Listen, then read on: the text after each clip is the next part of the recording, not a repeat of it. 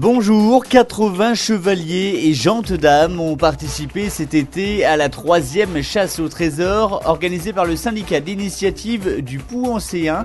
Une balade à l'époque médiévale entre Pouancé, Villepot et Châteaubriand. Bienvenue donc en 1532.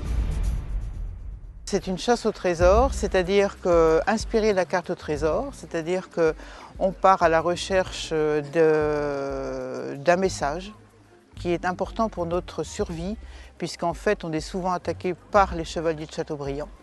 Et aujourd'hui nos équipes partent du fief de Poncé, c'est le seigneur Geoffroy de Poncé qui les envoie en éclaireur au château de Monsieur Briand. Alors à travers un parcours, des énigmes, des questions, des jeux, où il doit y avoir une interactivité entre la population angevine, la population bretonne qui doivent être interrogées. Ils ne le savent pas pour répondre à certaines questions. C'est sympa, bah, bah, plusieurs euh, vues en fait, déjà voir euh, des choses qu'on ne voit pas d'habitude, c'est-à-dire connaître, euh, se balader à pied dans des villes qu'on ne voit pas. J'aime le château de Poncé parce que je trouve qu'on a une histoire vraiment particulière ici qui n'est pas exploitée.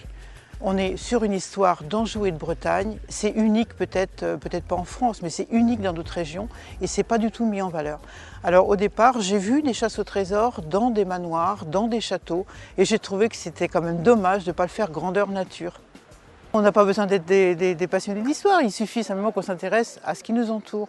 Donc savoir regarder, savoir observer, savoir questionner, et puis ben, ça va peut-être inciter après à en connaître plus, c'est l'intérêt.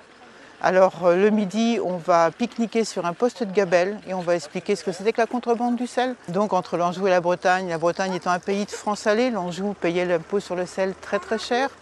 Ici, vous êtes euh, juste à l'entrée, un grenier à sel, on stockait le sel. Il y a des prisons aussi pour les, contrebandiers du sel à Foncé. Donc là, on est en Bretagne. Nous avons le midi un poste de gabelle. Et le jeu, ça va être de prendre des anciennes balances euh, romaines, Roberval, pour peser chacun un sac de sel. Chacun doit repartir avec un sac de sel, qui est le passeport pour euh, rester en Bretagne. Donc ils ont les énigmes au fur et à mesure qu'ils avancent. Il y a des, messagers en costume qui les attendent dans les endroits.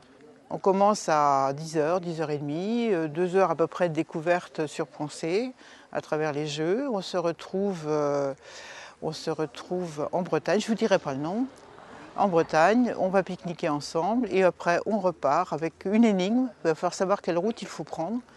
Et à un moment donné, on va donner quand même un plan parce que c'est un peu euh, tortueux et aujourd'hui dans les villages, c'est plus signalé. Donc on va euh, à un endroit du parcours, chacun va chercher son numéro d'équipage qui va être caché et euh, on fait un peu du géocache. Et derrière chaque numéro d'équipage, il y a un bout de phrase. L'énigme qu'il fallait rapporter. Et le soir, chacun doit l'écrire avec une plume d'oie. Et la fameuse phrase, la voici, en 1532 est signé le traité d'union de la France et de la Bretagne par François Ier, roi de France, marié avec Claude, fille d'Anne de Bretagne et du roi Louis XII.